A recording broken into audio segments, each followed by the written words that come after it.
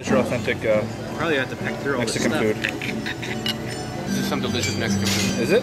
Good. I'm glad. So Very delicious. glad. Um, the French fries and the jalapeno poppers. Mm-hmm.